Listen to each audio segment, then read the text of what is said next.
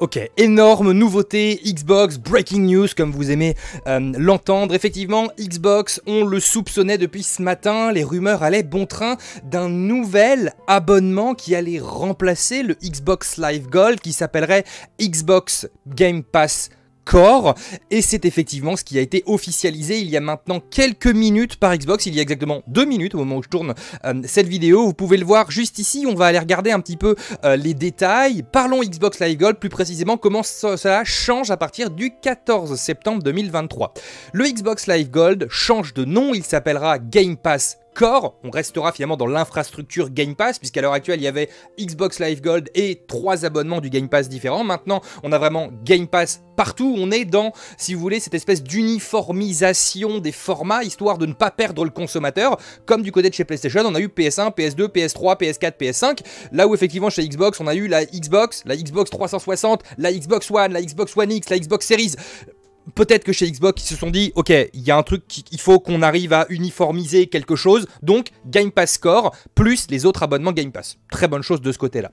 Une collection de jeux de haute qualité arrive à votre rencontre, car oui, il y a certains jeux qui sont inclus dedans. Si vous êtes déjà membre Gold ou Ultimate, ne vous inquiétez pas, vous n'avez rien à faire. Découvrez tout ce que vous devez savoir sur la page suivante. Et c'est là où on va aller s'intéresser de plus près à ce qui se passe du côté du Xbox Game Pass Core, dont vous avez eh bien, cette nouvelle image, qui sera très certainement l'image de la miniature euh, de cette vidéo et on va cliquer sur hop traduire en français, ça sera encore plus simple. Résumé, le Xbox Live Web devient le Xbox Game Pass Core à partir du 14 septembre et nouvelle sélection de jeux avec le Xbox Game Pass Core.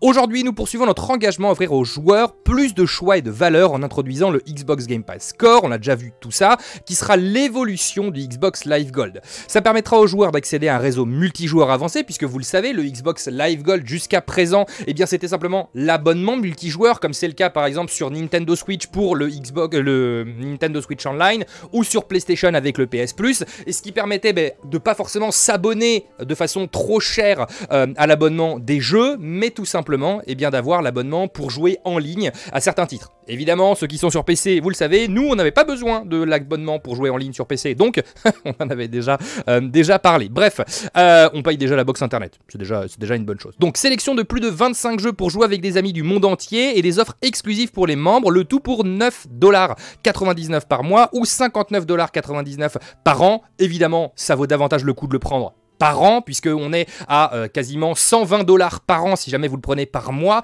tandis que à l'année ça fait 60 dollars. C'est moitié moins cher si vous le prenez sur un an. Évidemment, je pense que Xbox compte là-dessus pour euh, les consommateurs. Depuis plus de 20 ans, les joueurs Xbox se connectant via le Xbox Live pour s'affronter, coopérer et découvrir, et découvrir les plus grands jeux multijoueurs en ligne au monde. En 2017, nous avons introduit le Xbox Game Pass qui fournissait une bibliothèque de jeux organisée, plus l'abonnement aussi en ligne. Donc c'est aussi, je pense que cet abonnement, il faut prendre en compte que c'est pour les gens qui veulent pas avoir le Xbox Game Pass. Je sais que parmi vous, certains continuent à acheter leur jeu en version boîte et ne veulent pas profiter du Game Pass. D'ailleurs, dites-moi dans les commentaires qui a le Game Pass, qui n'a pas le Game Pass et surtout pourquoi vous n'avez pas le Game Pass Je pense que c'est une question assez intéressante. Il faudrait qu'on en parle un petit peu plus sur la chaîne parce que je pense que ça pourrait aussi euh, renseigner aussi pas mal de monde. Donc, avec cette évolution, nous disons adieu au Game with Gold, c'est-à-dire les jeux offerts tous les mois. Nous voulions profiter de cette opportunité pour repenser la façon d'inclure du contenu avec cet abonnement. Nous avons constaté que la réponse au catalogue le plus convaincant était de tirer parti de certains titres de notre catalogue Xbox Game Pass, notre collection de lancement de plus de 25 titres Xbox Game Pass. Donc, comprend Xbox, Bethesda et partenaires.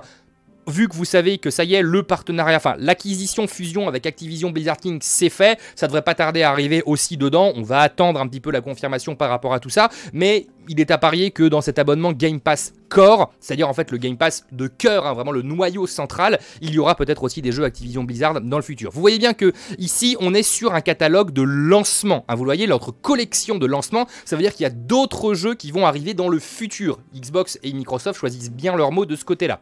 Donc de nouveaux titres sont rajoutés deux à trois fois par an et on a, alors du coup on va peut-être le laisser, peut-être le laisser en anglais histoire d'avoir les vrais titres parce que sinon c'est traduit. Among Us, Descenders, Dishonored 2, donc on évidemment du côté de chez, euh, chez Bethesda. Doom Eternal, Fable Anniversary, Fallout 4, Fallout 76, Forza Horizon 4, Gears 5, Grounded. On a des très bons jeux dans ce Xbox euh, Game Pass Core.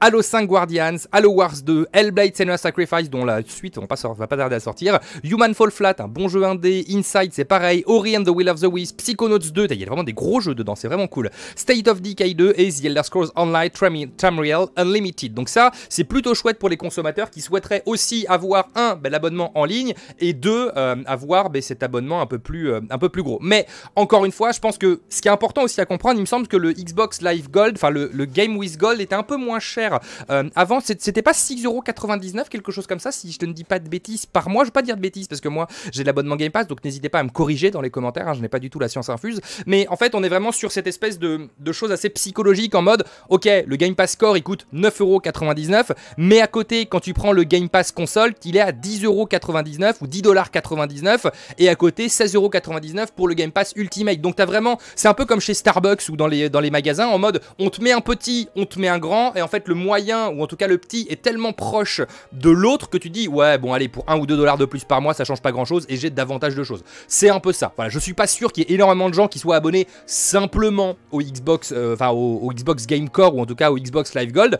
C'est possible, encore une fois, hein, mais je pense qu'il n'y a pas énormément de gens qui sont abonnés à ça parce que c'est tellement proche de l'autre que psychologiquement logiquement, tu as plus envie de prendre l'autre pour 1 dollar de plus en disant Ok, j'ai plus de choses encore une fois. Donc, parmi, pour les membres Xbox Live Gold actuels, si vous l'avez pour l'instant, donc le 14 septembre, ça deviendra automatiquement le Game Pass Core sans changement de prix. Donc, ça veut dire que c'était le même prix. Ok, bon, pour, pour info, voilà, ça, ça me permet de répondre à ma question. Auront accès immédiat à une nouvelle bibliothèque de 25 jeux de haute qualité. Ça, c'est cool pour les gens qui ont, qui ont tout cela. Offres et remises pour les membres feront également partie du Xbox Game Pass Core, c'est-à-dire que comme quand vous êtes abonné au Xbox Game Pass, vous avez des promotions sur les jeux. Par exemple, oui, le jeu peut être dans le Game Pass ou pas. Et des fois, vous avez des promotions pour acheter les gros packs, les éditions de luxe avec les DLC, etc. Puisque dans le Game Pass de base, souvent, il n'y a pas les jeux, a pas les jeux complets, en tout cas pas les jeux avec les DLC. Il faut le savoir. Les joueurs Game with Gold prendra fin le 1er septembre. Donc, si jamais vous avez des jeux récupérés d'ici là, n'hésitez pas. Les joueurs peuvent continuer à accéder à tous les jeux Xbox One qu'ils ont précédemment achetés via Game with Gold. Ça, c'est assez rassurant. S'ils restent membres du Game Pass Core ou Game Pass Ultimate. Bien sûr, ça, ça n'a pas changé de ce côté-là.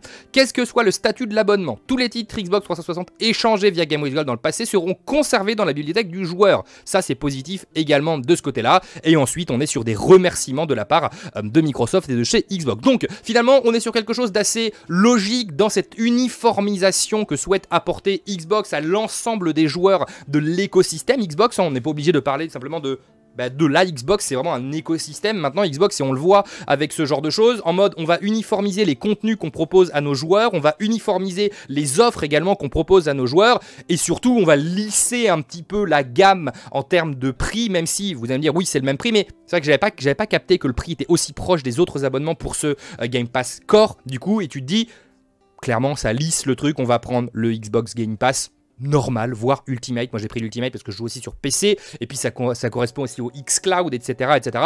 Donc voilà, énorme nouveauté du côté de chez Microsoft et de chez Xbox. On change Xbox Live Gold, ça dégage, et on prend le Game Pass Score en espérant que cette information vous aura plu, comme d'habitude, toujours au rendez-vous pour les dernières actualités sur la chaîne YouTube.